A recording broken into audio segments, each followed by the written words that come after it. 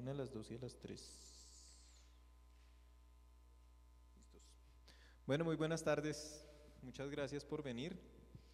Continuamos con esta charla dentro de un ciclo dedicado a la historia del rock nacional, del rock que se ha hecho en Colombia y particularmente aquel relacionado para esta charla con los años 90 con, dos importantes acontecimientos que coinciden en el año 1995, que es el origen de 99.1, la frecuencia joven de la Radiodifusora Nacional de Colombia, antecesora, emisora antecesora de lo que actualmente es Radiónica, y el referente cultural musical colombiano que es el Festival Rock al Parque.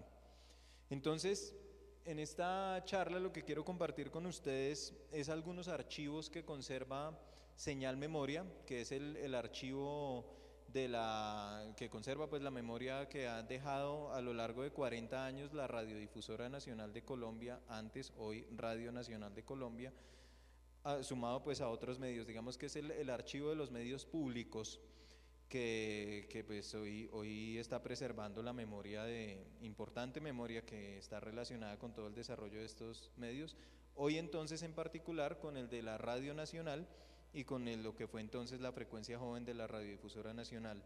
El objetivo que tengo con esto es activar un poco la memoria que se tiene en torno a, a lo que fue esta emisora 99.1 y también activar un poco la memoria en torno a lo que, a lo que ha sido Rock al Parque. El límite que tiene en este ciclo de charlas son los años 90, los años iniciales de Rock al Parque. Entonces vamos a estar escuchando algunos archivos que abarcan desde el año 1995 hasta el año 1999 y vamos al final a, a poner un poco también sobre la mesa la discusión en torno a lo que es eso de lo nacional. ¿Qué es lo que entendemos? ¿Qué es lo que pasa con lo nacional? A partir de esos años 90 en los que surge la, radio, la frecuencia joven 99.1 y el festival Rock al Parque. Así a grosso modo, pues más o menos vamos a estar girando en torno a estas temáticas. Es una charla un poquito larga, así que no me voy a extender mucho más en, en introducción y vamos de una vez a entrar en materia.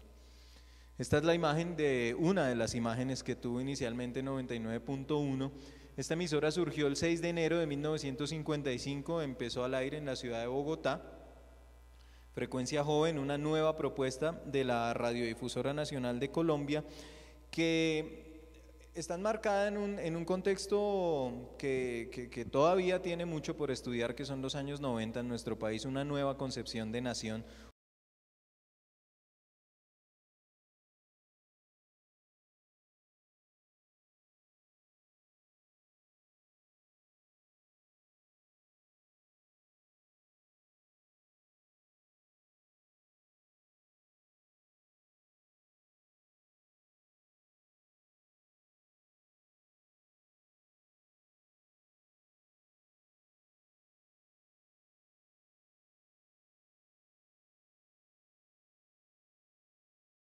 Punto uno. Y para ello entonces nos vamos a unos antecedentes aparentemente lejanos, pero que no lo son tanto. Y es precisamente lo que sucedía en Inravisión, el Instituto Nacional de Radio y Televisión, que era la casa de la Radio Nacional de Colombia, lo había sido desde los años 60. ¿Qué sucedía y qué había sucedido entonces con la Radio Nacional? desde su fundación, el primero de 1940, y digamos desde una perspectiva muy general podemos englobarlo en, dos, con estos elementos, digamos. Uno, muy importante, es que la Radio Nacional pertenecía al Ministerio de Educación, no al Ministerio de Comunicaciones, como vendría a ser posteriormente. Y esto pues ya nos ubica en una misión específica de la Radio Nacional de Colombia, que era precisamente educar a sus oyentes, educar al país y, y, continuar con, la, con ese ideal que tuvo la radio desde sus inicios en los años 20 como herramienta educativa y pedagógica fundamental. ¿Qué sucedía entonces en ese marco con la Radio Nacional de Colombia? los ideales en los que se fundamentó el, surgimiento y desarrollo de la Radio Nacional durante el siglo XX fueron los ideales de la alta cultura, una perspectiva eurocentrista, una perspectiva que reconocía en, los productos artísticos europeos la panacea, un norte a seguir Y era eso entonces el fundamento principal de la programación de esta emisora, la música clásica, manifestaciones como el teatro, la ópera, las artes plásticas, todo esto era el, sustento principal de la programación de la Radio Nacional de Colombia. Hubo entonces un problema que, se empezó a generar desde, desde, muy temprano en los años 50, pero que ya para los años 60 y 70 fue manifiesto de verdad, que fue la, la disyuntiva entre la programación y sus ideales y el gusto de la audiencia, que iba por otro lado, completamente distinto. Esto empezó a ser problemático para la Radio Nacional de Colombia y con el paso de los años cada vez más. Aquí tenemos entonces, vamos así sobrevolándolo rápidamente, para la década de 1970 se habían configurado dos cánones muy importantes en la programación de la emisora. Uno era entonces esa alta cultura fundamentada sobre todo en la música clásica, que era el porcentaje máximo de la programación de la emisora, y otro que si bien no estaba, no tenía una representación muy amplia dentro de la programación, sí estaba dentro de los ideales y las banderas de la Radio Nacional, si uno mira, digamos, los discursos que se generaron con su boletín de programas, que era el folclore y particularmente la perspectiva que tenía Guillermo Abadía Morales, que fue una persona muy influyente durante el siglo XX para, para, todo el desarrollo de esa perspectiva folclórica, que abogaba entonces también por esa definición de lo nacional y por encontrar unas raíces en manifestaciones populares, definiéndolas de manera estricta. Esto es, esto es así, esto se baila así, esta es la música, estos son los instrumentos, y que precisamente durante los años 70 vendrían a ser esos principios folclóricos la base de muchos festivales y muchos, mucho emprendimiento cultural que vamos a ver más adelante, se empezó a desarrollar durante esa década. Vamos entonces a los años 80, donde ya se empieza a sentir, digamos, de manera más latente lo que vendría a ser el origen entonces de la frecuencia joven. Aquí tenemos el, el boletín, uno de los boletines, el del mes de mayo de 1987, que pues es bastante elocuente digamos, en, relación con lo que se, entendía en ese momento, lo que, la concepción que se, nacional que se tenía, digamos, aquellos estandartes y aquellas banderas. La Radio Nacional continuaba con su programación de música clásica como componente principal, pero la música popular y, eh, y vista desde esa perspectiva del folclore empezaba a ganar mucha importancia. Aquí tenemos entonces como portada del boletín una representación de, lo que fue pues el hito de la década y de lo que ha sido uno de los hitos culturales más importantes en nuestra historia cultural, que son los 100 años de soledad de García Márquez, La reina de las mariposas amarillas, una figura en arcilla de Cecilia Vargas, enmarcaba entonces los ideales de la Radio Nacional de Colombia. ¿Qué sucedía al asomarse a estos boletines como, como fuente, digamos, importante para, para, entender la historia de la Radio Nacional de Colombia. Aquí tenemos no muy claro, pero alcanzamos a ver lo que eran los contenidos, ¿no? Tenemos la programación musical que, como les decía, era fundamentada en la música clásica, sobre todo, ahí está Haydn, artículos dedicados a Haydn, los orígenes del teatro, por otro lado, la Gaceta de la Música, pero al final en la página 60 encontramos una cosa muy interesante. En ese año 1987 nos dice nueva programación juvenil en la Radio Nacional de Colombia. Y si nos vamos entonces a la página, se trata de esto. Quiero leerles en, específico de qué se trata. Dice allí, nueva programación de la Radio Nacional Juvenil, de nueva programación juvenil en la Radio Nacional de Colombia. Se trata del anuncio del programa Escalada, el, Escalada, el tiempo para la juventud. Este era un programa que, de duración de media hora, los domingos a las seis de la tarde. Allí se trataban entonces artes, ciencias, salud, recreación, medios de comunicación, actualidad histórica internacional y vivencias cotidianas. Como objetivos, este programa se proponía lo siguiente, aportar conocimientos de interés a un público no especializado, estimular en los jóvenes el deseo por aprender más y por la investigación. No está eh, para nada lejano entonces de los, de los ideales de educación y cultura que tenía la Radio Nacional eh, en, ese entonces y que venía desarrollando desde los años 40. La juventud quería enmarcarse entonces dentro de esos mismos principios, darle algo de educación, darle algo de perspectiva histórica, enmarcarla, digamos, eh, guiar a la, juventud dentro de, estos, dentro de estos marcos de alta cultura y de producción cultural en los que estaba interesada la, la Radio Nacional de Colombia y su programación. Pero si, si miramos un poco entonces lo que venía siendo el desarrollo de la historia, encontramos que la, gran diferencia, por un lado, pues es que se fijan en la juventud y lo que esto significa es que esos cánones sólidos que tenía la Radio Nacional de Colombia y que ha tenido para ese momento durante cerca de 50 años, desde 1940, pues empezaban a, a tambalearse un poco.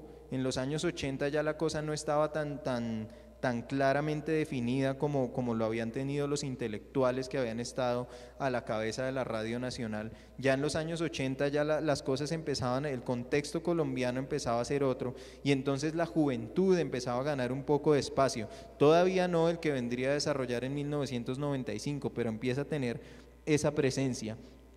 Llegamos entonces a la, a la década de los años 90 con el surgimiento de 99.1 Aquí tenemos una imagen que es un, viejo radio de aquellos de los años 40, 50, pero completamente, pues, pues digámoslo, tergiversado, una ruptura que, tiene, en, eh, considera, digamos, a, a, nivel de imagen, considera todavía ese origen de donde viene radial, pero que pues se propone una cosa completamente distinta. Vamos a escuchar un primer archivo que nos, que nos pone entonces de, entrada ya, porque pues, digamos que nos sitúa en el otro escenario, que es el de, el de Rock al Parque. Aquí lo que vamos a escuchar es precisamente la transmisión que hizo de entrada casi 99.1 eh, del primer festival Rock al Parque. 99.1 entonces había nacido en enero y pocos meses después se desarrollaría el Festival Rock al Parque y pues allí se encuentran los dos proyectos y más adelante vamos a ver cómo fue que sucedió esto. Por el momento pues el audio. Esta tarde, pues en el día de hoy vamos a tener lo mejor de las bandas colombianas y por supuesto a la finalización tendremos a la agrupación española Seguridad Social. Los noto como bajos de energía, pero bien, ahora esto va a tener un poco más de ruido y nos vamos a empezar a divertir. Y yo les pregunto, ¿ustedes ya han escuchado 99.1, la nueva emisora? ¿Y si han escuchado el programa de Rock Nacional, cuatro canales? Pues listo, todo lo que está sonando en este festival está quedando grabado y lo vamos a pasar en especiales de bandas nacionales en cuatro canales. A continuación los voy a dejar con la primera banda, la primera banda de la mañana, Federico se va a encargar de presentarla. Bueno, la programación para hoy, día sábado, segundo día de Rock al Parque. Tenemos a la agrupación El Sud, a la agrupación después nueve, Estrato Social, La Giganta, Los Chicles, Ciegos Sordomudos, Marlo Hábil y Seguridad Social de España. Acuérdense, 99.1, la única emisora que cree en el rock nacional. Cuatro canales. Bueno, y gócensela que esto es para ustedes. Muchas gracias al instituto y a la gente que ha participado. Ahora los dejo con la agrupación El Sud. El Sud. Bueno, esto entonces nos, nos, nos sitúa en el, otro, en el otro tema. Vamos a dejar un poco ahí a, ponerle stop a la historia de la radio y vamos ahora a abordar el tema de los festivales por el otro lado. La historia de los festivales en Colombia pues es casi tan antigua como, como también la historia de, la radio. Desde los años 50 finales empezaron a, desarrollarse algunos de estos tipos de eventos, en los 60 tomaron mucho más fuerza. Y en la década de los 70 pues la, realización de festivales casi que se volvió una política cultural colombiana. Y en esto tiene mucho que ver este evento que encuentran ustedes allí, la realización en Bogotá en enero de 1978 de la primera conferencia intergubernamental sobre las políticas culturales en América Latina y el Caribe, convocada, realizada, producida por la UNESCO. Ahí están las cifras, pues esto fue una cosa muy importante, 34 países, 42 organizaciones, 13 ministros. En los años 70 también entonces en, Colcultura, eh, la, la, dirección de Colcultura la asume Gloria Sea. Ella va a estar hasta mediados de los años 80, una mujer pues que se preocupó también bastante por el apoyo a los festivales regionales, el apoyo a las músicas populares colombianas, empiezan a desarrollarse varias grabaciones y bueno, también la música clásica, es decir, son, son ideales, digamos, paralelos que también se estaba manejando, lo que les explicaba en la programación de la Radio Nacional de Colombia, pues esto, digamos, en un, en un contexto más amplio, dentro de las políticas culturales, pues estaban presentando esos mismos lineamientos. En 1978 surge el Instituto Distrital de Cultura y Turismo, que eventualmente sería la entidad organizadora del Festival Rock al Parque. Paralelo a esto, entonces, se están realizando también algunos festivales que yo pongo aquí muy entre comillas urbanos.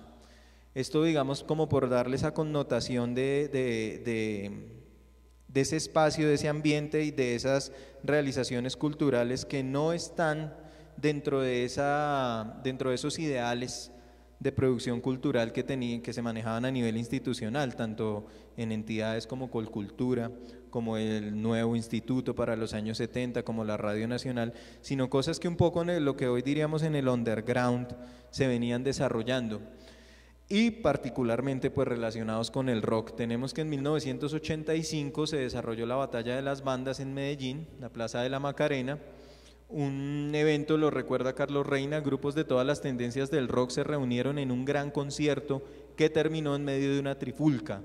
En el año 88 también pues fue célebre el concierto de conciertos que, digamos estaba sentado sobre esas bases de aquella marca que se había creado en los años 80, muy criticada en la actualidad, pero que al mismo tiempo muy efectiva en ese momento del rock en español. Una cosa importante que sucedió y un importante antecedente para lo que vendrían a ser los años 90 mm, el concierto de conciertos y de manera todavía más underground el Calavera Rock 1 en Bogotá poco después del concierto de conciertos. De esa forma entonces, digamos, como, como ese, de, ese, de ese lado B de lo que era poner en escena una producción musical, por un lado teníamos la realización de festivales, la, visibilidad que habían alcanzado músicas populares, pero sobre todo la posibilidad de hacer un encuentro donde en un escenario la comunidad se reúna, aprecie la música y se retroalimente y haya toda una dinámica social en torno a una práctica musical. Así lo quiso entonces la institucionalidad con los festivales de música regionales, reproducir también ese canon del folclore dentro de esa misma dinámica de convocar, de reunirse, de encontrarse diferentes generaciones, pues también tenemos este lado B, festivales que contaban o no con el respaldo institucional, pero que igual pues iban siendo el sustento para que entonces en 1995 llegáramos al primer festival Rock al Parque, cuya imagen pues tenemos aquí expuesta.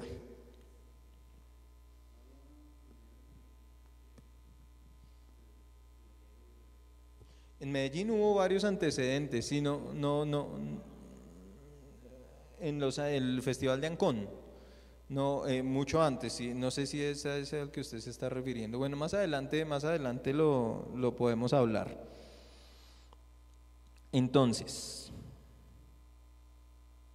en este, en este desarrollo de políticas culturales, de, de gestión cultural, de organización, desde esos años 70 empieza también a, a, ser cada vez más protagónica la gestión de una persona muy importante que es Berta Quintero, una mujer que venía del ambiente de la salsa y de la gestión cultural desde los años 70, percusionista, integrante de orquestas femeninas, una cosa muy singular, digamos, que se presentó en Colombia. Ella entonces en, en, los años 90 se vincula con el Instituto Distrital de Cultura y Turismo y desde allí en el momento en el que se empiezan a hacer toda la, digamos, todo el desarrollo institucional y todo, todo la planeación y, digamos, puesta en marcha del proyecto de la nueva constitución del 91, Berta Quintero toma parte también de estos procesos con el objetivo de darle relevancia a las artes, un conjunto amplio que incluía teatro, música, y otro tipo de manifestaciones, músicas además de la, de, digamos, de ese canon de, de folclore que venía en desarrollo desde, desde muchos años antes, también las manifestaciones urbanas, eso siempre fue un interés para, para Berta Quintero. Y digamos desde su posición en el instituto y desde el vínculo que pudo tener en las bases de la organización y de la, de la gestión de lo que fue la, el movimiento para la constitución del 91, pues eh, eh, Berta Quintero pudo alcanzar, digamos, un influjo que vendría entonces a desarrollarse con su gestión en el Instituto Distrital de Cultura y Turismo durante los años 90. Recientemente Berta Quintero, pues eh, también al igual que lo estamos haciendo nosotros, en, conmemoración a los 25 años del Festival Rock al Parque, mmm, escribió, escribió esta pequeña nota en 1990. Bogotá, con una población de 5 millones de habitantes en medio de un país en guerra, cercado por el narcotráfico y el terrorismo, suspendió los conciertos masivos. Así en ese ambiente estaba el rock a principios de los años 90, cuando entonces ella empezó a generar esa, esas inquietudes por la validez y por la representatividad política y, no solo política, sino también a nivel, a nivel concreto, en escenarios, en dinámicas culturales, de músicas que hasta el momento no habían sido consideradas como parte de ese espectro de lo que estaba validado como nacional. Entonces Berta desde ese momento empieza a generar inquietudes sobre lo que era la validez o no de estas músicas y en su gestión en el instituto entonces llega el momento de, poner esas músicas en escena. Vamos a, antes de,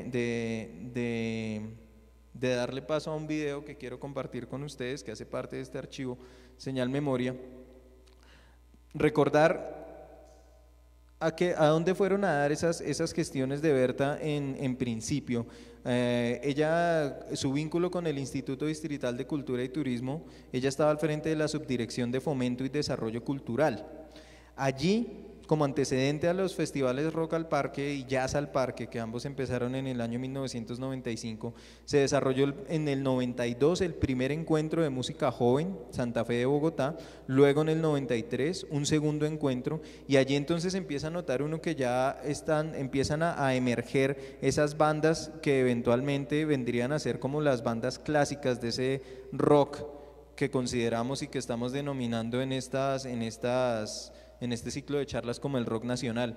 Allí ya aparecían las 1280 almas, allí ya estaba el nombre de la derecha, allí ya estaba el nombre de Andrea Echeverry. En ese segundo encuentro de música joven, desarrollado en 1993, aparecieron bandas como Equimosis, Extres, Marlo Ávil, que fue también una banda muy reconocida en el ámbito de rock al parque posteriormente, el Duodeno y sus intestinos, que era la banda de Ramiro Meneses, quien venía pues de del ambiente punk de Medellín y había alcanzado un amplio reconocimiento por la película Rodrigo D.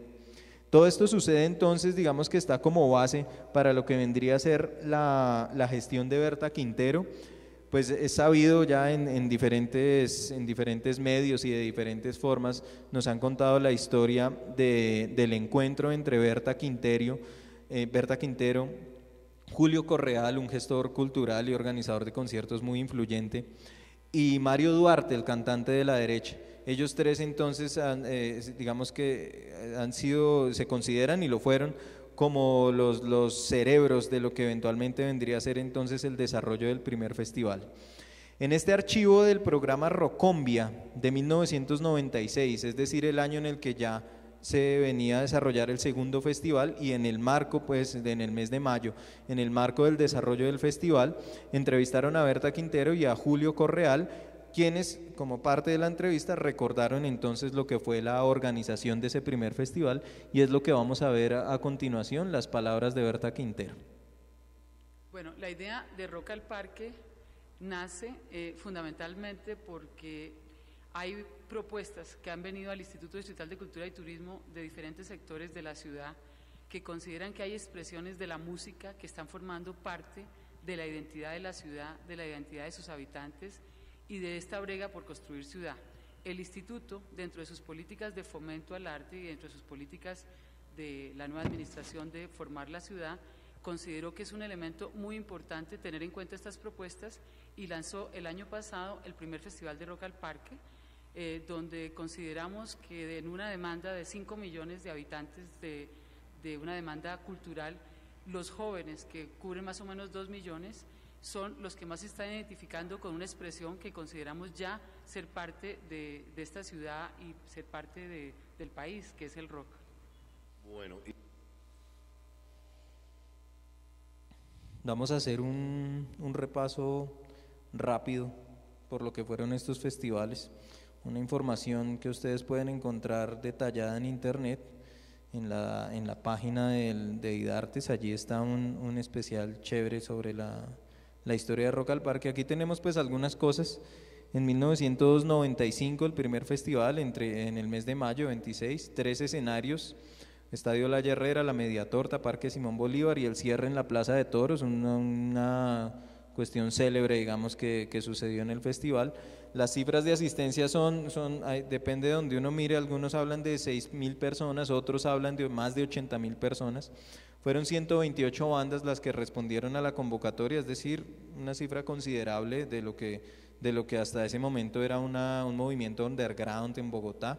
Finalmente fueron 43 las seleccionadas. Aquí están algunos de los nombres que ustedes pueden apreciar en la... Son nombres bastante inquietantes.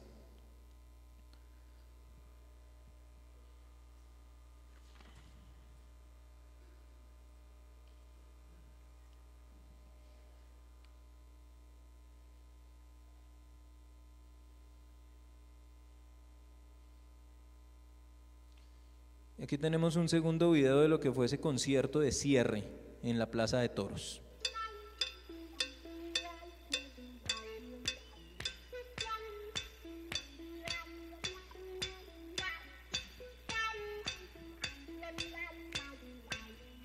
¿Listos? Esta es la sorpresa. Por mucho que yo quiera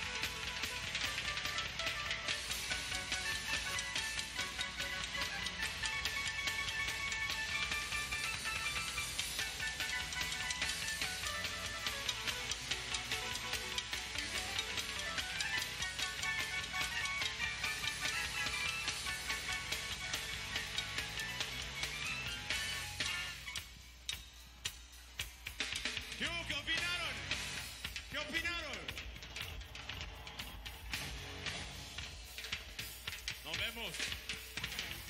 Pronto. Panelo. Francisco. Josué. Juan Carlos. Y yo.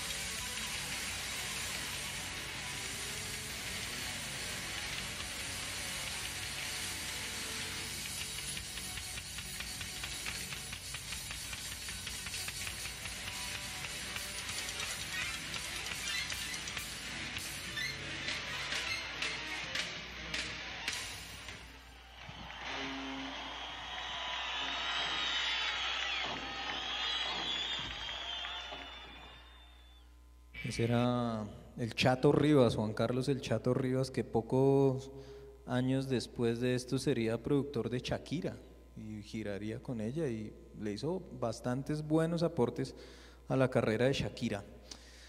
Bueno, eso fue el primer festival entonces, ese célebre concierto de cierre en la Plaza de Toros que se recuerda porque fue la única vez en el festival que se cobró boletería, 7 mil pesos. Hay gente que conserva sus boleticas.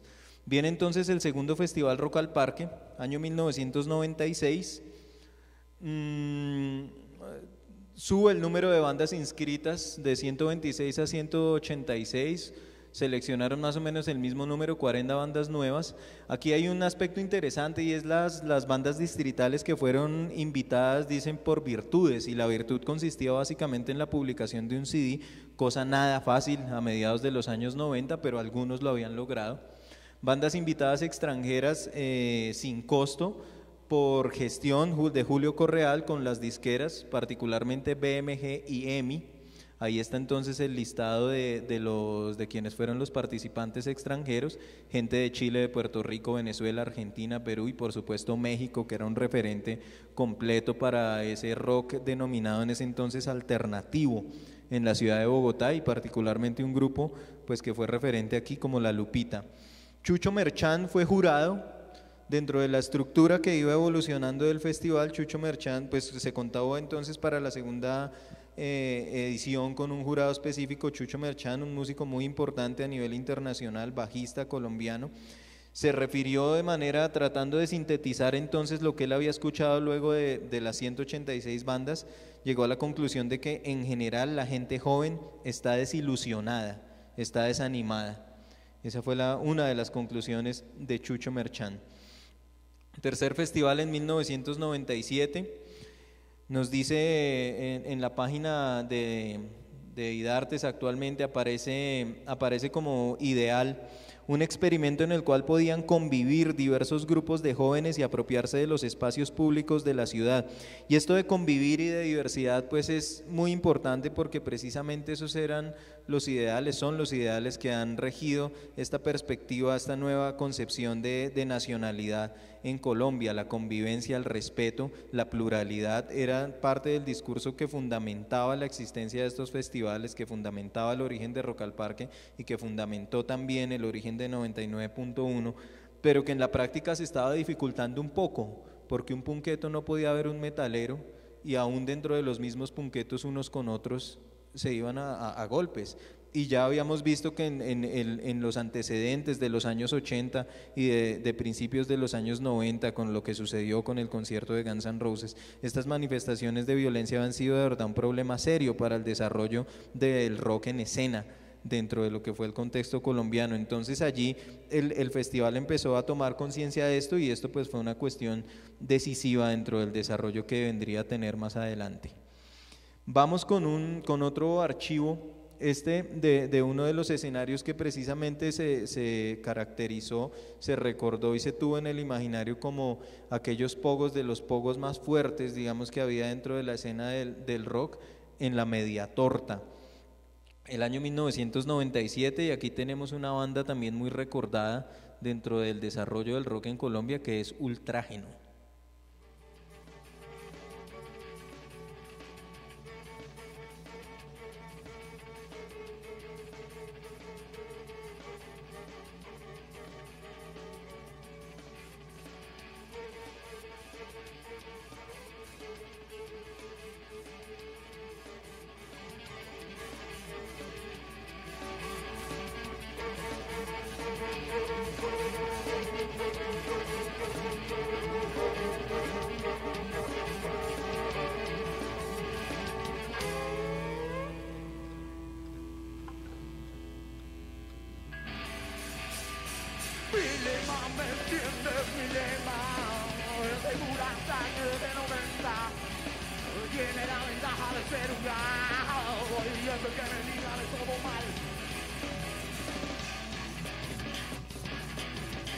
No te lo, no te lo, no no te no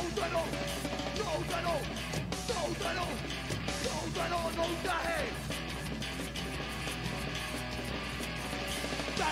míralo bien, tú Donde extiende. Cuento de Pero ahora duro y radical. Tu agresión contra los demás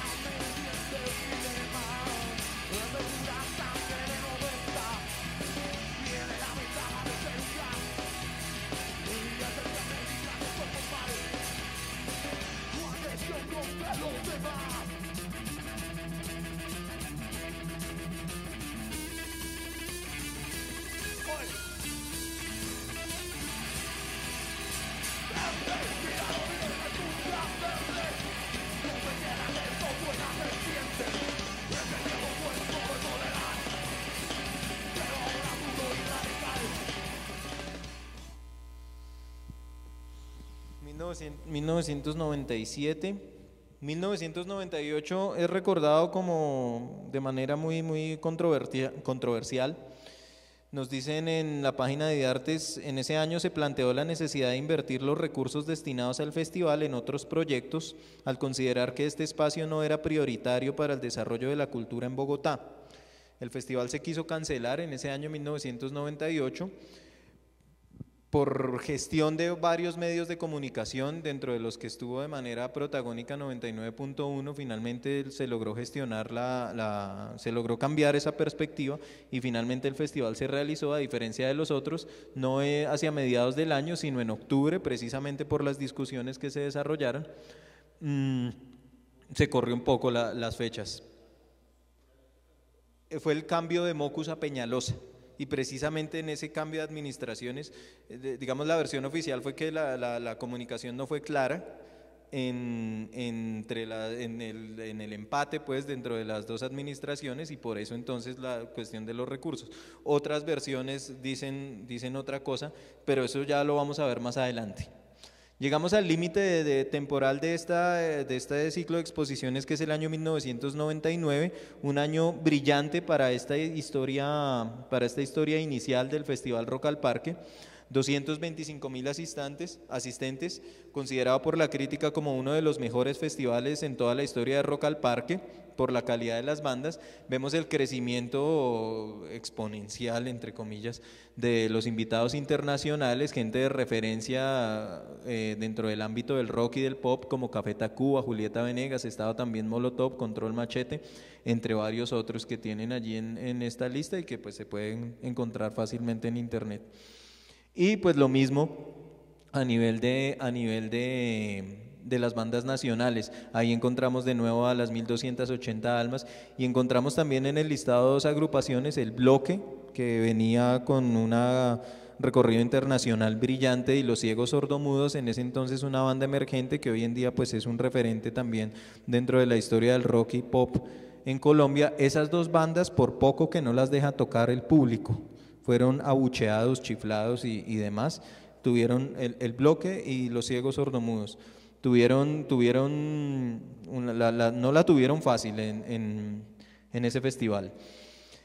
Con este quinto festival entonces llegamos al año 1999 y nos encontramos de nuevo con, los archivos. Antídoto fue otro de, los, otro de los programas que conserva el archivo Señal Memoria y dedicaron una de sus emisiones del año 1999 a el rock, a el rock en, en Bogotá y a la perspectiva que se tenía. Entonces cuestionar, pues le preguntaron diferentes cosas a la gente. La, perspectiva que se tenía del rock, a pesar de la evolución que había tenido, de todas formas era negativa.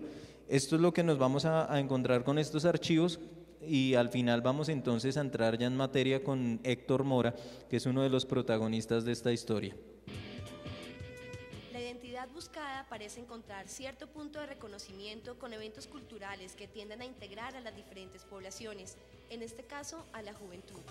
La crisis económica del país ha hecho que muchas personas no tengan acceso a la cultura. Por eso un evento gratuito como Rock al Parque abre un espacio para la integración y la tolerancia.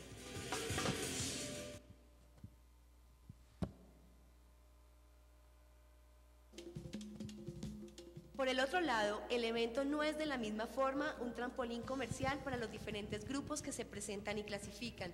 Las bandas tienen una importante oportunidad de demostrar sus talentos en este tipo de eventos. La selección año a año se vuelve más exigente y así se comienza a profesionalizar la música en nuestro país.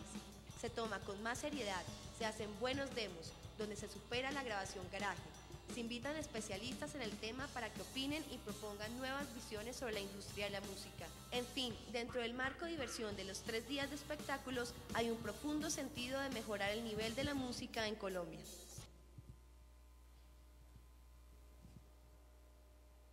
Llama la vida. Pero nosotros culturalmente no somos un país rockero, somos un país tropical, un país que tiene otro tipo de concepciones y donde de todas formas esta música viene traída de fuera, es de un referente extranjero.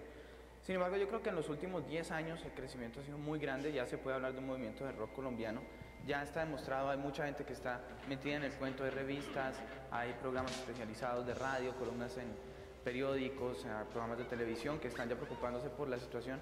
Yo creo que hace falta un poco de más dedicación, un poco de profesionalismo de ambas partes, desde el lado musical de todas las bandas, concientizarse que es un negocio, la industria de la música, sea a nivel underground o sea en un nivel más grande, pero que requiere de ciertas necesidades que deben ser suplidas dentro de una, dentro de una estrategia económica.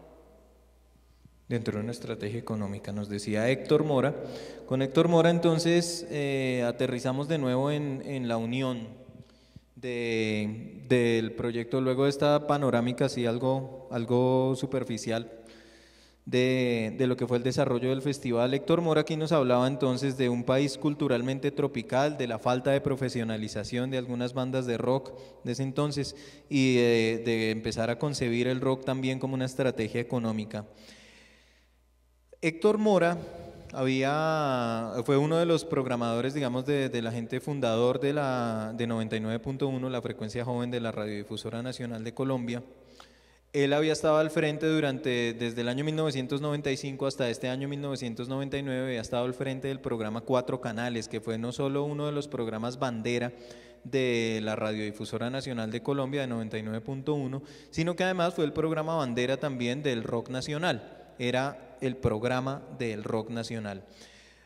Al, estar, digamos, con esa relación tan cercana, eh, Héctor Mora desde 1995, dentro de las polémicas que se desarrollaron por la cancelación del festival en 1998, él fue designado en Ravisión para ir al IDCT y atender entonces toda la cuestión, porque 99.1, como les contaba, como les contaba, había sido uno de los medios de comunicación para, para un centro de acopio para la recolección de firmas que fueron miles de firmas las que lograron reconectar, eh, recolectar entre 99.1 eh, y los impresos, la revista Shock y Suburbia. Fueron miles de firmas de jóvenes, de colegios, de estudiantes, de todas las que recolectaron y entonces eh, pudieron ejercer una presión fuerte sobre el instituto para la realización del festival. Él estuvo entonces en esas, en esas discusiones que se desarrollaron en el Instituto Distrital y eventualmente por su participación pues fue nombrado director del festival desde 1998 y estuvo en el cargo hasta el 2001. Entonces digamos que Héctor pues tenía y en esta, en esta entrevista ahí pues nos mostraba un poco de la, de la perspectiva y de la claridad también que él tenía tenía sobre el movimiento desde, desde pues ya en el año 1999, que fue el video, pero lo que había manejado también desde el año 1995. Y entonces nos vamos de vuelta a ese año inicial de 99.1, de esa propuesta, de esa apuesta por el rock nacional y de ese encuentro también que hubo con Rock al Parque. Vamos de nuevo entonces con otro archivo ese del programa Rocombia, conservado por Señal Memoria del año 1996. Aquí está entonces otro extracto de ese concierto final. Aquí son las 1280 almas, otra de las bandas célebres también dentro de la historia del rock, en particular de Bogotá, pero en general pues de Colombia.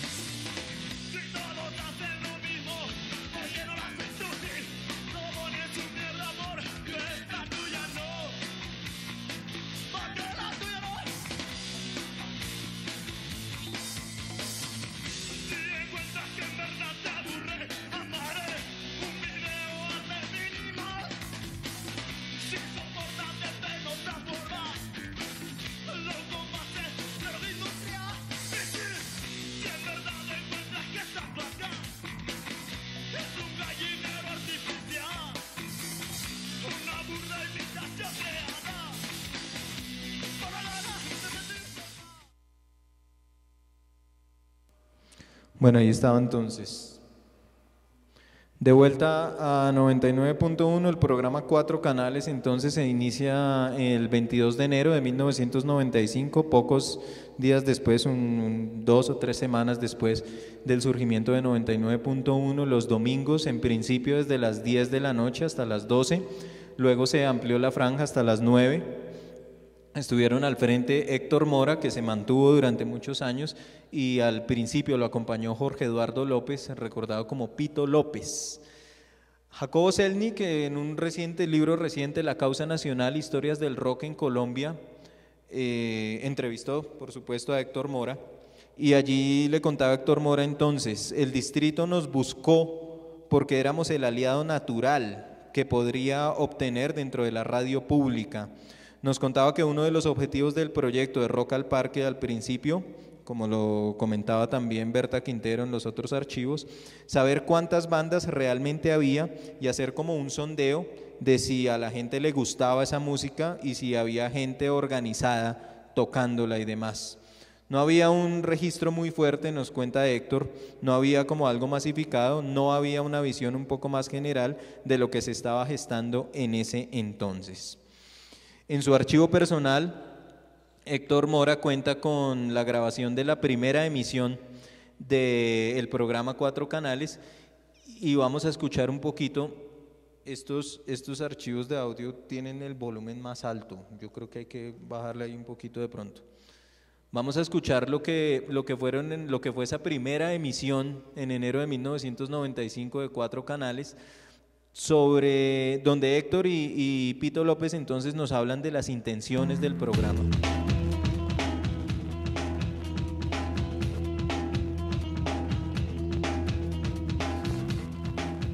¿Qué tal ese tema de colección, ah? No, esto fue un bloque fantástico. Queremos contarles a las personas que nos están escuchando cuál es la filosofía de nuestro programa. Básicamente, usted que nos está escuchando, que posiblemente pertenece a una banda de garaje, o que sencillamente ha grabado un demo, o que tiene una grabación en DAT, tráigala. Este es el momento para que nosotros se la programemos. Recuerden que nuestro teléfono es el 222-1992. Queremos hacer contactos, queremos hacer entrevistas en vivo, queremos impulsar el talento nacional.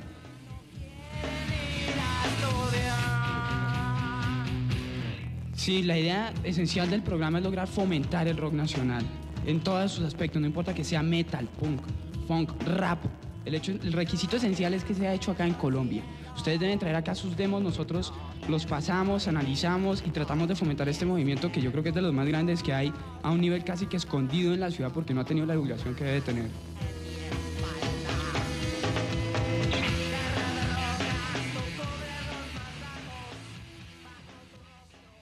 Eh, opinen, programen sobre este nuevo programa que es de ustedes. Este programa es de todas las bandas acá en Bogotá.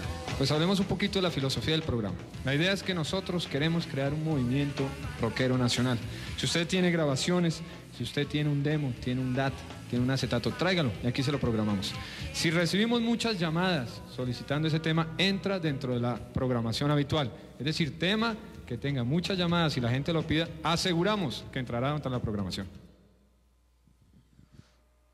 Entonces,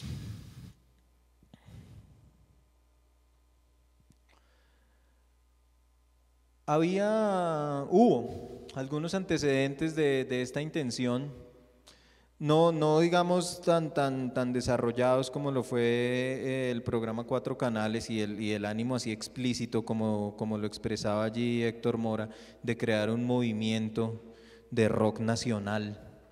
Pero hubo antecedentes, en, 89 punto, en 88.9 estuvieron Andrés Durán y Álvaro González, el profe, que es actual director de Radiónica, con su programa en particular, Álvaro González, el profe, la clase de español, allí pues también se, se presentaron algunos, algunas, en algunas oportunidades algunos discos y algunas grabaciones de, del rock nacional. Hubo también medios contemporáneos a 99.1 que surgieron casi, eh, pues en particular Shock surgió en el mismo año, la revista Shock, en el año 1995. Y aunque de manera limitada, pues también estaba el influjo de MTV Latino, ¿no? Cada vez más creciente. El canal en esa, desde los años 80 y en esos años 90 era una, digamos, tenía un carácter muy distinto a lo que es MTV en la actualidad. En ese entonces resultaba rentable fijarse en esas nuevas manifestaciones del rock a nivel latinoamericano. Muchas de esas bandas que, que, circulaban sus videos en MTV Latino pues tomaron parte también del, como invitados internacionales del Festival Rock al Parque y muchas de esas bandas pues también fueron muy importantes dentro de la programación de 99.1. Vamos a escuchar otros dos extractos de aquellas emisiones iniciales del programa donde se puede ver un poco, intuir o entrever allí entre líneas entonces cómo estaba el ambiente en ese entonces del rock nacional, aquí con las voces de sus protagonistas. El primer extracto es una entrevista al grupo Estado Inerte de Bogotá y más adelante entonces también escucharemos otra, otro extracto de, de aquella retransmisión que hizo 99.1 del primer festival Rock al Parque. Aquí está la entrevista. Caballero, algo más que decir. Usted me decía ahora que tenía que hacer un comentario que era importante. Yo creo que esto, esto a todos nos importa, es bueno que lo escuchemos. Bueno, el apunte que yo le quiero hacer a toda la radio escucha es que por favor, si una banda nacional graba un demo, un DAT, una pasta, por favor, no lo copien, cómprenlo. Ok, e- eso me parece importante, pero más importante me parece que... ¿Demos el teléfono? Que demos el teléfono, sí, 222-1992 para que nos llamen y nos digan qué tal les ha parecido la música de esta gente. Y por supuesto, no se olviden que lo importante del rock es estar en escena, es estar en conciertos. Hay que frecuentar los bares, hay que frecuentar lo que llamamos nosotros los chuzos, en donde las bandas están haciendo su Exacto. música en vivo y en donde realmente uno mide el talento nacional. Recuerde que en su barrio puede haber un chuzo metalero rockero, foméntelo. Esa es nuestra cuña. Nos vamos entonces con Blasfemando de la banda Estado inerte. Estado, Estado Inerte. inerte, ok.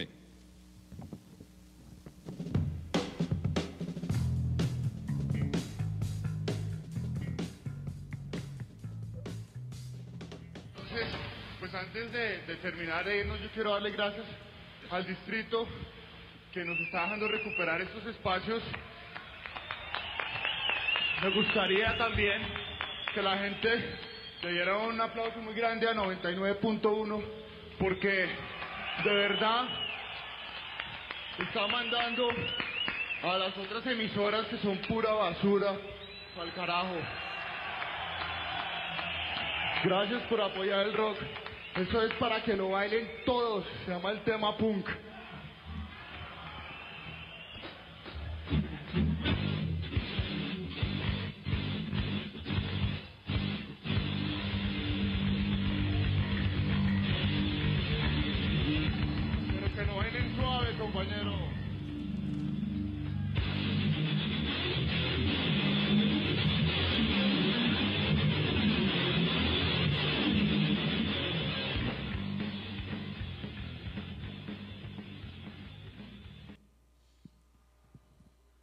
Bueno, entonces ese era, ese era el carácter de cuatro canales, el programa insigne del rock nacional en 99.1, que se mantuvo por muchos años. Ahí, ahí, encontrábamos, ahí encontrábamos, digamos, focalizado un público, focalizado un- una práctica, no así, digamos, un género, porque los géneros que se programaron fueron muy diversos, eso también lo vamos a ver más adelante.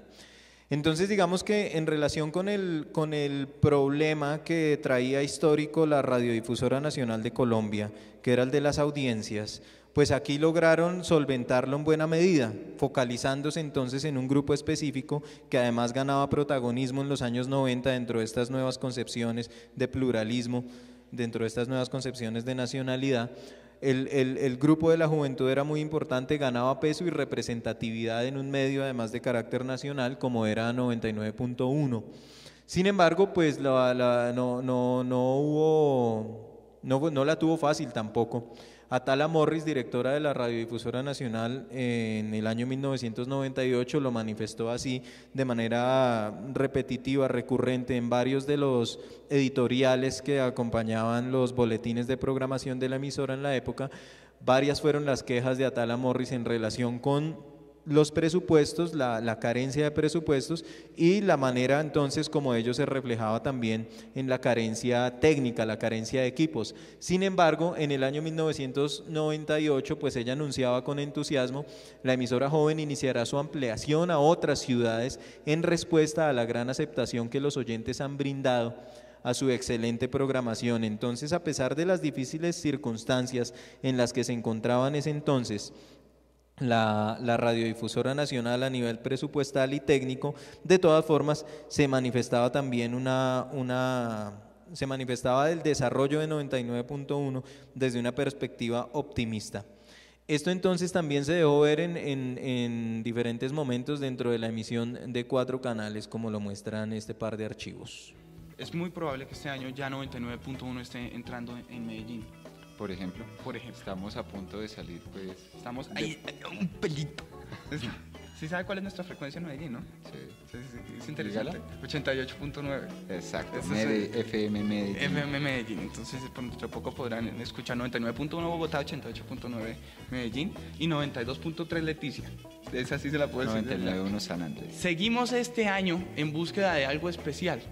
Resulta que a quienes nos escuchan en San Andrés y en Leticia, algo, algo especial, seguimos esperando una banda de metal de Leticia o de algún género, por favor, si de verdad hay, eh, hay algo, lo estaremos recibiendo en nuestro apartado 120-100 de Santa Fe, Bogotá, o de San Andrés, así sea de reggae, estamos dispuestos, pero queremos saber si es verdad que alguien escucha cuatro canales en Leticia y en San Andrés.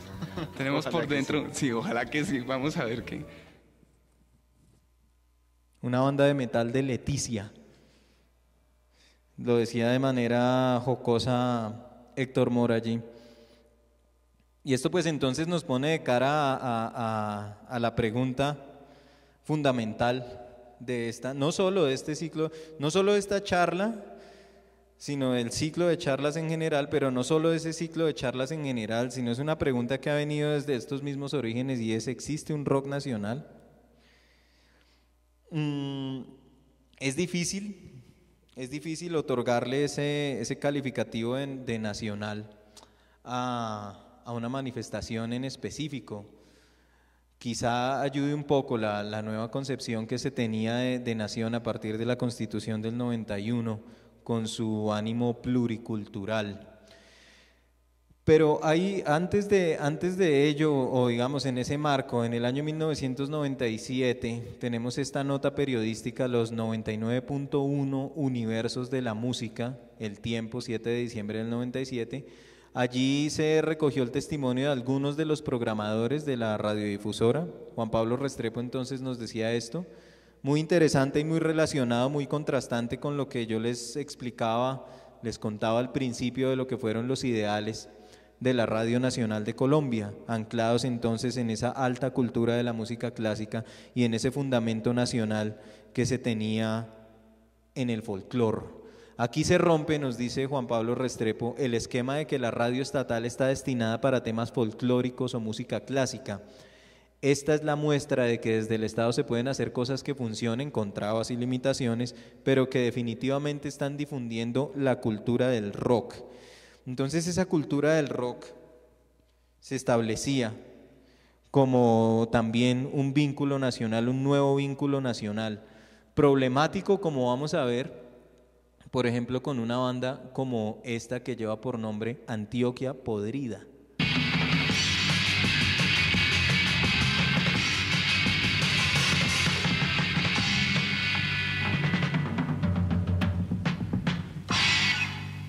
Estamos en 99.1, la frecuencia joven de la Radiodifusora Nacional de Colombia. Nuestro teléfono es el 222-1992. Y se nos está acabando el tiempo. Han sido dos horas muy amenas. Yo creo que hemos tenido variedad, la que hemos Total. querido. Total. ¿Algún comentario, Héctor? Pues yo creo que ya es importante que sepan el invitado para la próxima semana. Vamos a tener acá la banda Bangladesh. Es Excelente. una banda acá de Bogotá muy buena también. De rock. Ellos hacen como una especie de rock pop. más Sí, bien. con muchas cosas de jazz también. Bueno, estupendo. Acabamos de escuchar adicionalmente dos temas de la banda Antioquia Podrida, precisamente del, de, ese, de ese cassette Grito Antitaurino. ¿Cuál, cómo, ¿Cómo se llamaban los temas? Bueno, el primer tema se llamaba Tauromaquia y el segundo se llamaba 500 años de la agrupación Antioquia Podrida. Bueno, y ahora vamos a escuchar qué tema. Vamos a escuchar el tema Celebrando Violencia de Hartos de Ti. Bueno, yo creo que con esto estamos despidiendo el segundo programa de cuatro canales al aire. Los esperamos la próxima semana. Por favor, todas las bandas que hay hagan contactos. Federico López en la emisora todos los días de 5 de la tarde a medianoche. Con él hablan ustedes para traer sus demos. Aquí los pasamos. Aquí todo lo que sea nacional es lo que nos interesa, lo que nos importa y lo que vamos a seguir pasando. Ok, buenas noches, que estén bien.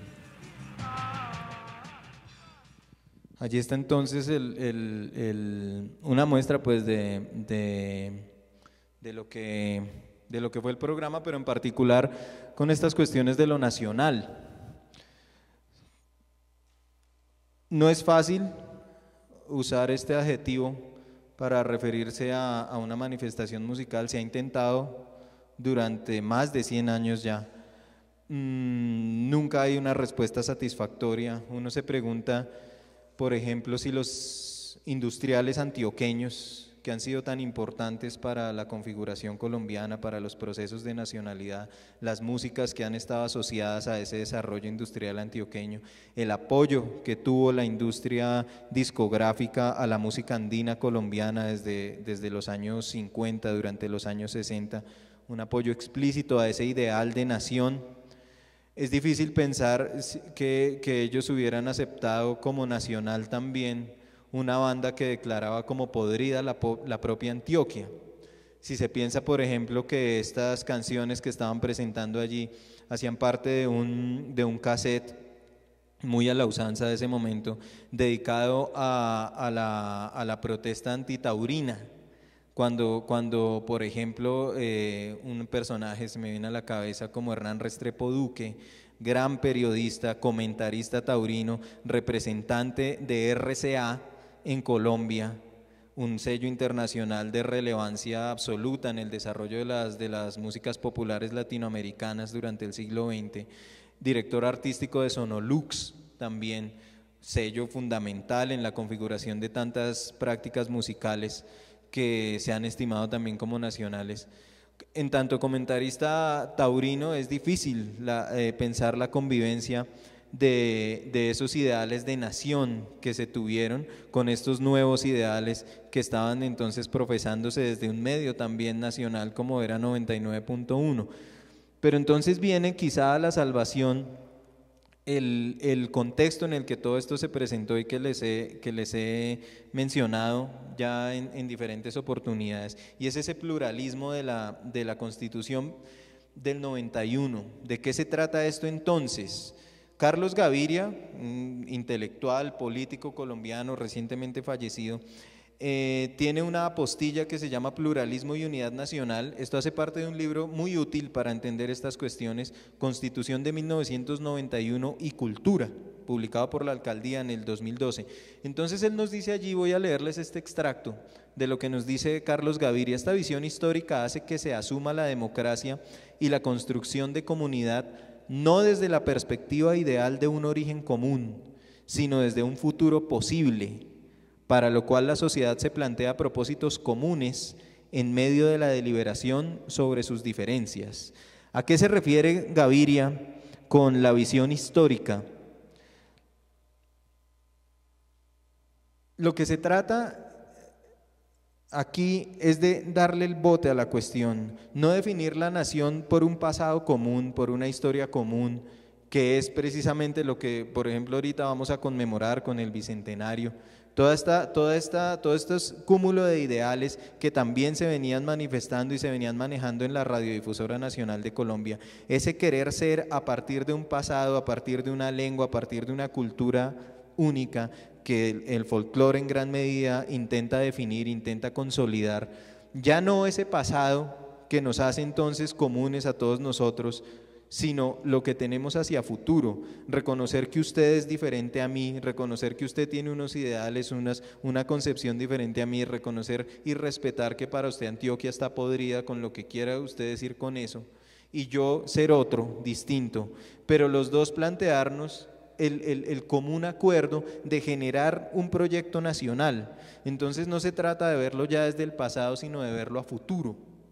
Y eso es entonces lo que plantea el, el punto de quiebre entre, entre, la forma como se concebía la nación colombiana en la constitución del 86 que llevaba ya 100 años y la forma como empieza a concebirse entonces a partir de los años 90. Es un proyecto común, nuestra nación, así seamos diferentes, nos respetamos y entonces nos, nos planteamos un objeto. ¿Qué vamos a hacer como nación? es cambiar un ideal por otro, porque, porque el, el, ideal democrático de la Constitución del 91 hemos visto clarísimamente cómo en, en, diferentes momentos de la historia reciente de nuestro país también se ha tambaleado. Se tambaleó en el año 1998 cuando se quiso cancelar el Festival Rock al Parque. Hubo entonces, para, para lo que tú estabas observando hace unos momentos, hubo entonces, hay una versión oficial que es el, el, el, el desencuentro, el empate, las complejidades, digamos, eh, institucionales en un cambio de administración. Otras personas tienen en su imaginario y en su memoria que eso no fue así, esto se puede ver fácilmente a través de YouTube. El asunto al parecer fue elitista, fueron sectores incómodos con este festival los que quisieron entonces entrar a, agenciar allí una cancelación y, e irse en detrimento, digamos, de, ese reconocimiento que se tenía con el festival de esos nuevos sectores. Entonces el asunto es bastante complejo, los ideales y, la, concepción nacional está allí en juego y quizá esa sea la, la importancia de verdad de, de lo que, de lo que conlleva esta historia, más allá de su exposición descriptiva, que es lo que he hecho yo durante estos minutos que me he tomado, es preguntarse entonces qué pasó, qué ha pasado y cómo juegan nuestra memoria esos nuevos ideales y cómo jugaron para también la consolidación del rock nacional, si es que realmente lo podemos estimar como tal. Yo lo planteo como pregunta porque en realidad no estoy muy seguro de si en realidad, como, como, como lo preguntaba Héctor Mora en ese extracto que escuchamos hace unos minutos, haya una banda de metal en Leticia. Él lo decía de manera jocosa, como que se, burlaban un poco de lo que era el hecho de que 99.1 se estuviera escuchando en Leticia. Si uno analiza por un momento y piensa un poco en lo que en las implicaciones que tenía ese chiste, puede haber muchas interpretaciones.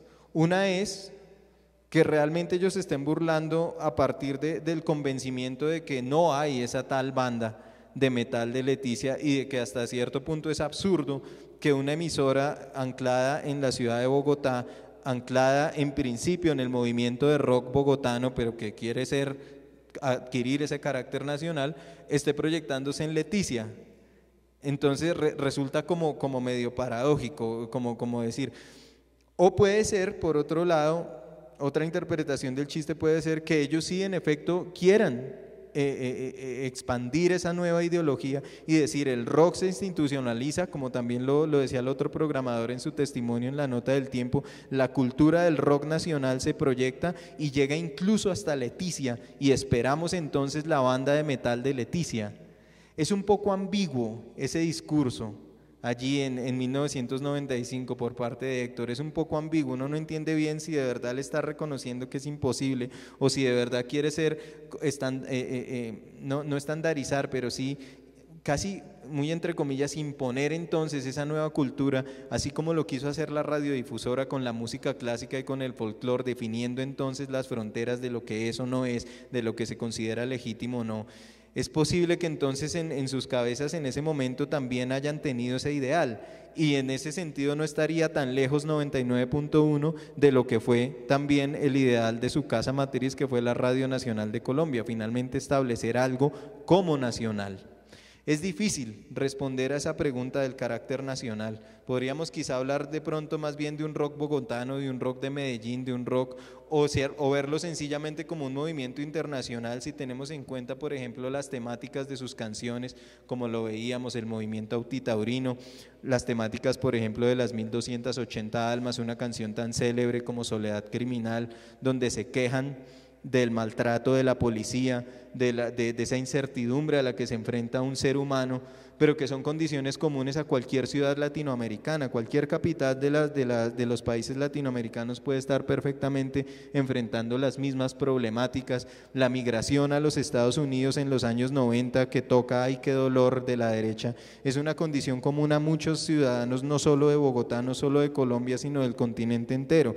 Entonces esas cuestiones de lo nacional empiezan a, a tambalearse un poco. Sin embargo, pues es un rock hecho en Colombia. Es un rock hecho en Colombia que no sabemos si sea representativo entonces también de un ánimo nacional o si sencillamente está entrando en diálogo dentro de esos, eh, dentro de esos ideales pluralistas que manejaba entonces la Constitución del 91, que entonces fue lo que dio origen a, a todas estas cuestiones. En relación entonces con ello y con estas cuestiones de lo nacional, quizá nos ilustre también la manera como esto se manejó, un extracto más de esas emi- emisiones iniciales de cuatro canales. Hace escasos cinco minutos recibimos una llamada que es muy importante. Héctor quiere hacer un comentario sobre algo que a todos nos concierne y a todos nos preocupa. Sí, esto es muy importante. Ahorita recibí una llamada de unas personas de acá de Bogotá en las cuales estaban criticando el hecho de que pasáramos bandas de Medellín por la discrepancia que ha habido en el pasado entre bandas de Medellín y bandas de Bogotá. Yo creo que es muy importante decir que en cuatro canales fomentamos todo lo que sea nacional, no importa de qué región de Colombia sea, sean costeños, pastuzos, boyacenses, paisas, cachacos, lo que sea, mientras sea nacional nosotros lo pasamos. Ese tipo de discrepancias entre géneros y entre ciudades es lo que ha tenido el rock aquí en Colombia dividido por mucho tiempo y ya es hora de que dejemos de andar pensando en esas cosas. Juntarse y sacar adelante un movimiento que es muy fuerte en esta ciudad y en este país. De hecho, el rock es solamente uno. Y vamos a tener la próxima semana inclusive temas de bandas de Tunja, de Bucaramanga, de Armenia, de Pereira, de Medellín, de Bogotá. Lo importante es que todos estemos en la jugada rockera. Lucho, ¿qué, qué- qué quiere comentar sobre Fértil Miseria? No, quisiera hacer un comentario sobre lo que acaba de decir Héctor. Yo que vine de Medellín estoy muy interesado más bien en que las personas se preocupen por ayudar a estas bandas. Estas bandas se dan un trabajo para todos nosotros. El hardcore y el punk, el metal, todos son un movimientos que deben unirse, sobre todo en un país que lo que quiere es salir adelante. Bueno, ahí teníamos Pito ahí con una, con una, también una de ellas, el rock es solo uno, decía Pito López, no Héctor, sino, sino su compañero, el rock es solo uno. Sería, sería buenísimo saber qué opina ahora con, con todos los, los, la controversia que ha causado también en, ya en años recientes, ¿no? La programación de Rock al Parque, cuando, cuando se ocupa también de tantos géneros que en principio podrían no ser considerados rock, pero que allí están. Mm, Desde un principio, pues Berta Quintero también se preocupó por esa cuestión del rock nacional y, y aquí tenemos entonces, nos devolvemos a ese año 96 para escuchar uno de sus testimonios. Una de las cosas que queremos eh, mostrar es que el rock pues es parte de la identidad de los jóvenes colombianos, bogotanos, y lo que queremos es tratar de mejorar esa calidad. Nosotros propusimos desde el año pasado la realización de una serie de talleres, eh, realizamos algunos, no hemos podido realizarlos todos, pero tenemos una propuesta inicial eh, de poder eh, hacerlo en tiempo largo, talleres en cuanto a voz, en cuanto a improvisación, talleres musicales, eh, talleres de instrumentos, donde los diferentes participantes de, de conformantes de estos grupos quieran eh, venir a formar parte de, de estos talleres. Entonces, por un lado, digamos, tratar de generar desde el Estado, igualmente que los grupos lo hagan, la existencia o no de un movimiento de rock nacional, tenemos un rock nacional o no, tenemos un- hoy estamos cantando una temática que defi- definitivamente nos diferencia del otro rock en español, eh, tenemos una forma de sonar musicalmente diferente, apoyar esto, buscar calidad y como ya pasó el año pasado, las diferentes disqueras se han volcado sobre estos nuevos grupos y es así como más, pues en este momento 14 grupos ya han grabado. O sea que estamos realmente fomentando una expresión de nuestra música, de nuestros músicos, de nuestros jóvenes y buscando fundamentalmente mejorar la calidad. Bueno, pues ahí entonces vemos también el, asunto desde el lado de la política cultural, muy importante. Mm, y bueno, llega el momento del final entonces, con esta pregunta abierta sobre el rock nacional. Quiero, antes de presentarles este último archivo, pues agradecerles a todos ustedes la asistencia, la paciencia y la, la buena onda de estar aquí. También a la gente que nos siguió en el Facebook Live, que los tenemos aquí en la camarita siguiéndonos. Muchas gracias a todos los interesados. Y bueno, pues a ver, la Secretaría de Cultura también pues que está, está vinculada a Bibliored y Órbita Rock, que es la gente también que se encarga de la, de la transmisión a través de las redes. Un saludo para todos allí en, a través de internet. Muchísimas gracias por su asistencia. Y con esta pregunta abierta sobre el rock nacional, pues nos vamos de nuevo al año 1995, aquel concierto de cierre en la Plaza de Toros, con la banda que, que clausuró todo y que al final de manera controversial como lo fue en su momento, cerró con un clásico, quiso hacerlo, casi que no lo logra, con un clásico de la música popular mexicana. Aquí están los aterciopelados con un tema insigne de eso que entonces hoy te- decimos, denominamos rock nacional. Por los mares y el Orinoco, café,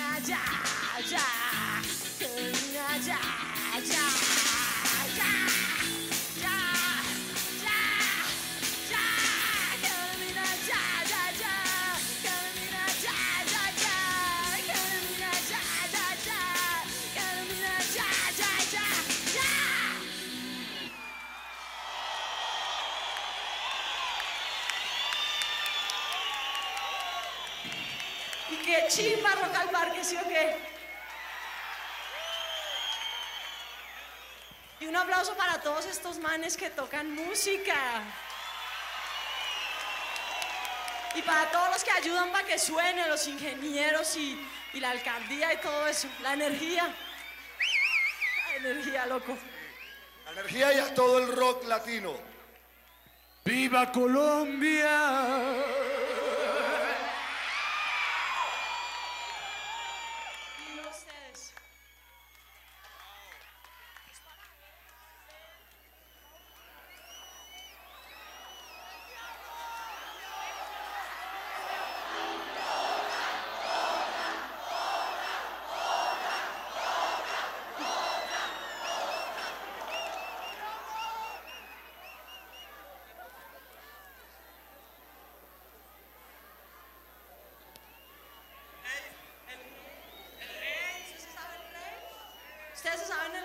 Sí, sí. Sí.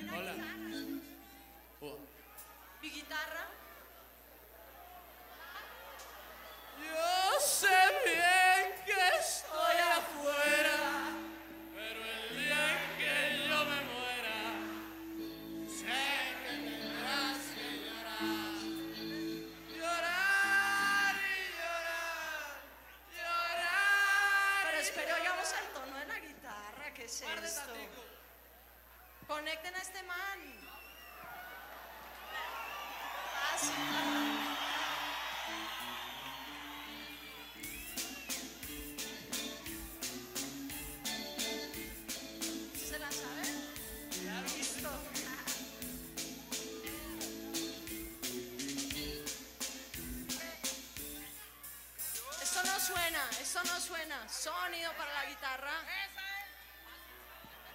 Ahí va, ahí va, ahí va. Ay, marica, el volumen.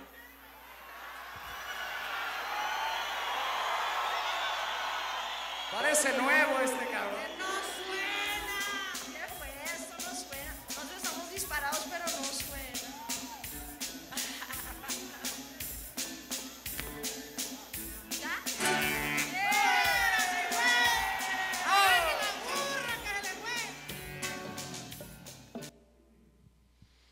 cuando lograron se acabó el programa. ¿Quién sabe qué pasó? Hay gente lo recuerda, seguro la cantaron. Yo estaba ahí, pero no, ya no me acuerdo. Así es la memoria. Pero bueno, pues de eso se, trata también esta, esta conferencia, es de, de jugársela un poco por, por la memoria, queridos amigos y amigas. Así que si tienen alguna pregunta, pues, pues con gusto este es el, el momento y muchas gracias de nuevo. Tú, sí, hay, hay, un, hay un micrófono para a capela. No, pero es para que te oigan también en la, en la transmisión. Ah, es que dijiste que había eh, como tres eh, entidades que movilizaron las firmas y todo. Shock. eh, Suburbia. Suburbia, Suburbia que era una revista. Suburbia fue un ¿Existe medio impreso, sí, del momento. Yo no, no, no, yo sé que existió, pero no, no sé hasta qué punto, no sé hasta qué momento. Pero Suburbia fue uno de los que también recolectó firmas en ese 98 para, para, pues para, para gestionarlo del festival que iban a cancelar. Pero ahí estuvo Suburbia, Shock y 99.1. Aquí atrás. varias cosas de, de lo que conozco. Eh, usted nombró el festival de Ancón, creo que era el Río La Miel, que fue uno de los precursores en Antioquia. Sí. De- y también en la radio, creo que este, el Chupo eh, Plata Camacho fue uno de los que trajo el rock aquí porque él vivió en Estados Unidos y por Radio Tequendama estuvo siempre pasando programas de rock. Ahora, en la Nacional también hay una revista que se- no sé si ya se acabó, que se llama Metal UN. Y de ahí surgió una banda también que, que tocaba rock y, entre otras, mi hijo, que hizo una tesis sobre el metal indígena, o sea, la fusión de, instrumentos indígenas con, el metal. Entonces, cuando hablaban del rock en Leticia, pues que no me parece un chiste, me parece que es genuino que, las que se reintegre. Incluso creo que los eh, Rolling Ruanas integran un poco, digamos, lo, lo ancestral, lo tradicional con el rock. Entonces no me parece que sea, digamos, ninguna burla, sino que es necesario que esas, se haga una mistura ahora que están haciendo bastantes sincretismos culturales. Entonces los invito a que miren eso. En la Nacional se estaba investigando sobre la posibilidad de que se hiciera rock desde los grupos indígenas con instrumentos. Entre otras, Andrea Echeverry la vi en, la Fundación Alzate Andaño probando unos instrumentos, un- unos indígenas y otros que ella misma hace. ¿Cómo se llama su hijo, el autor de esa tesis? Se llama Germán Javier Torres López. Germán Javier, bueno. Metal oh, eh, es- eh, y música y instrumentos indígenas. Bueno. Es de antropología. Claro. Eh, sí, no, claro, esto, esta, esta historia tiene antecedentes como, como se, se ha ocupado, digamos, las otras charlas de este ciclo desde los años 60, ¿no? El, el- el- el asunto del rock no es nuevo. El rock en Colombia no se inició en los 80, eso es clarísimo. Mm, tampoco su, su proyección, digamos, en radio. eh, esto viene de, de- de, no digamos de vieja data, pero sí al menos desde las décadas centrales del siglo XX. En el 57 fue fundamental la, la película Un rebelde sin causa. eh, en el Teatro Colombia, en el, en el actual Jorge Eliezer Gaitán. De, de todo esto, de todo esto pues se, se están ocupando las otras charlas, ¿no? Que de, paso pues sea este el momento para invitarlos. Hasta bien entrado diciembre van a estar en las diferentes bibliotecas públicas. Hay una charla sobre los 60, otra sobre los 70, los 80 y los 90, a la que se suma esta de, de la reflexión en torno a los medios públicos. Usted mencionaba también una, una cuestión muy importante que es la radio universitaria y en particular la, la emisora de la Universidad Nacional también se ocupó pues de allí, allí y se ha seguido ocupando pues de, de estas manifestaciones underground del rock. Muy importante ese, esa mención suya, muchas gracias y gracias también por el dato de la tesis de su hijo, muy interesante, toca chequearla. Tengo una duda, José, y es mm, estoy en reflexión de esta misma pregunta que nos hace. ¿Es rock nacional? Me gustaría escuchar su, su respuesta a esta pregunta. ¿Está bien decir rock nacional? Por ejemplo, en un medio decir esto es rock colombiano, metal colombiano. Mm, ¿Cuál es la reflexión que quiere dejar en nosotros con esa pregunta? Bueno, lo que pasa es que el asunto, decirle, eh, para mí personalmente, es distinto decir eh, esto es rock hecho en Colombia decir esto es nacional. Es que el asunto cuando, cuando digamos, si lo vemos desde, desde el punto de vista, desde el punto de vista previo al- a la constitución del 91, lo que se estimaba como nacional es lo que nos abarca a todos. O sea, algo, la música, cuando, cuando se quiso establecer la música andina como música nacional hace 100 años, se quiso y se logró, eh, eh, se empezó a denominar, quiero decir, a usar ese término de nacional como adjetivo eh, inherente a, a esa manifestación, pues lo que se quiso fue abarcarlos a todos, ¿no? Abarcarlos a todos y esto es lo que nos representa, esto es lo que nos representa a todos y el que no, no es esa cuestión, ese manejo excluyente, pues, pues entra en cuestión y, y- y digamos que idealmente se cae en los años 90, se cae a finales de los 80. Bueno, esto, esta- este manejo, digamos, del adjetivo nacional. Pero lo que, lo que a mí me, me, me, me, no sé, me hace ruido un poco en la cabeza es entonces, ¿qué es lo otro?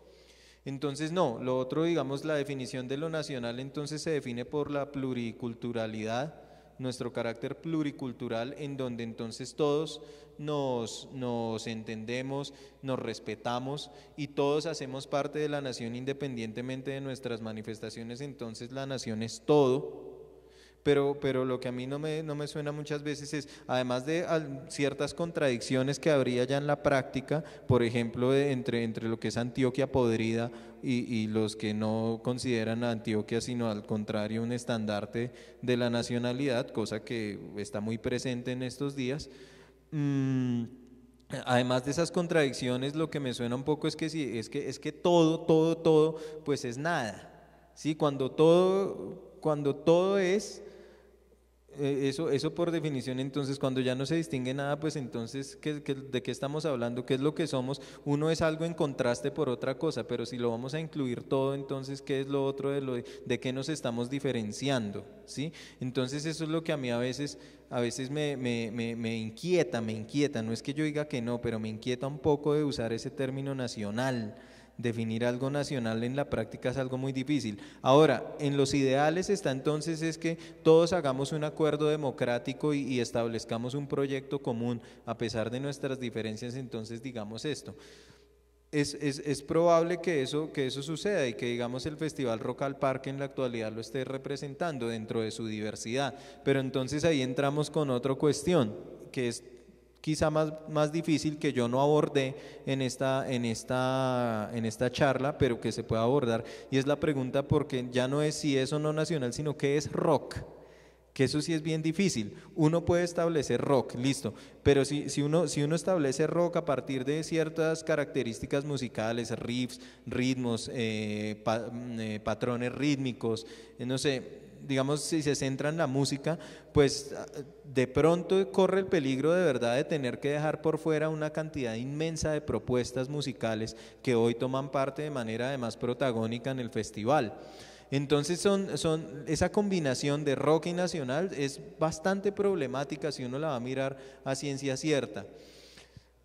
Pero, pero, pero tomar partido es difícil. Eh, Yo prefiero plantearlo como una pregunta que nos motive entonces más bien a, reflexionarnos como nación precisamente.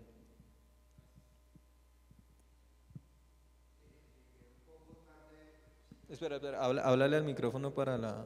Llegué un poco tarde, hasta ahora me entero de que aquí estaban en, en del comienzo del rock. No sé si ya hablaron del comienzo del rock.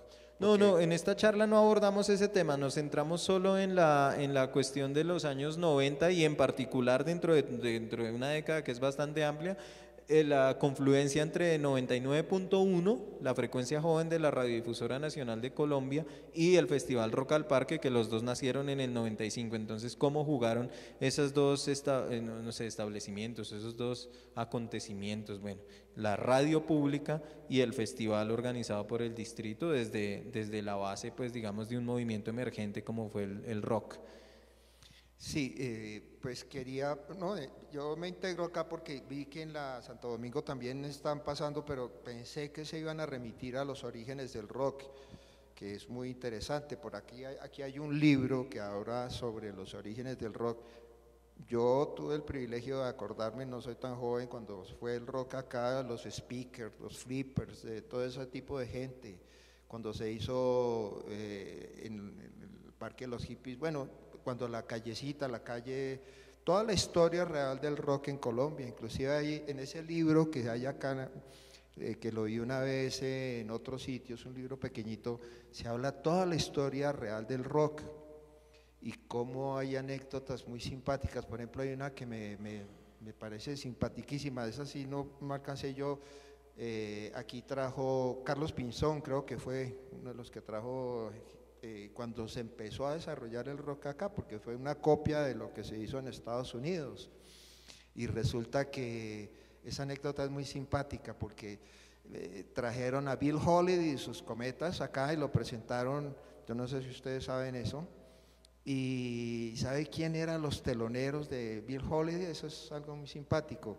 Era, eh, eh, era Bovea y sus vallenatos, o el, eh, era un conjunto acá nacional que lo pusieron de, de telonero. Eso a nivel anecdótico, ¿no? Hay muchas anécdotas. En ese librito, no recuerdo el nombre, tengo que volverlo a leer, se narra toda la historia de cómo empezó aquí y se empezaron a hacer acá eh, pues los primeros conjuntos. Yo tuve compañeros que estuvieron integrados en varios conjuntos que figuraron acá en Bogotá, ¿no? Y es muy, muy, muy bonita la historia. Yo me imaginé que de eso se trataba hoy o pensé que ya lo habían pasado. Entonces cuento a nivel anecdótico estas historias.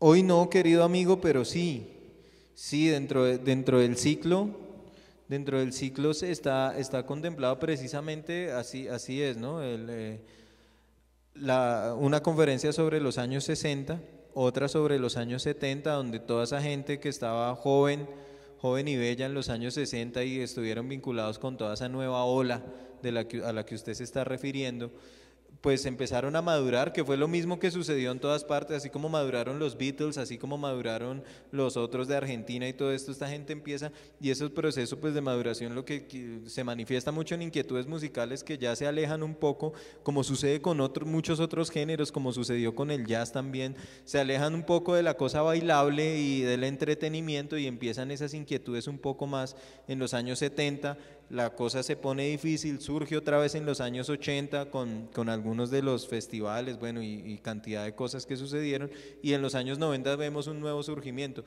Cada una de esas décadas está contemplada en una de las charlas que hacen parte del ciclo. Esto, eh, hoy, hoy yo estoy aquí, el, el 5 de diciembre estaré en Suba, pero mañana o en estos días también están, están esas otras charlas aquí en estas y en todas las bibliotecas públicas, en el Restrepo, en Marichuela, en La Victoria, en la Santo Domingo. En, en- va a estar, ¿no? Eh, De aquí hasta mediados de diciembre, entonces sería buenísimo si usted se pudiera sumar con sus recuerdos a una de estas charlas. La programación está ya fuera en la cartelera o en internet también ahí en, en las páginas de la biblioteca se puede consultar.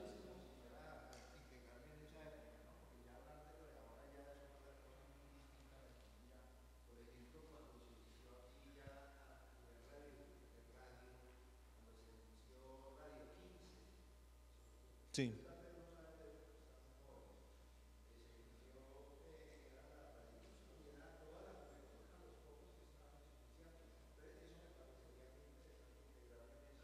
Sí, Radio 15 fue como la 99.1 de, de los años 60, sí, un poco. Bueno, muchísimas gracias. Cerramos entonces a la gente de, de internet, muchas gracias y, y bueno, nos vemos en la próxima.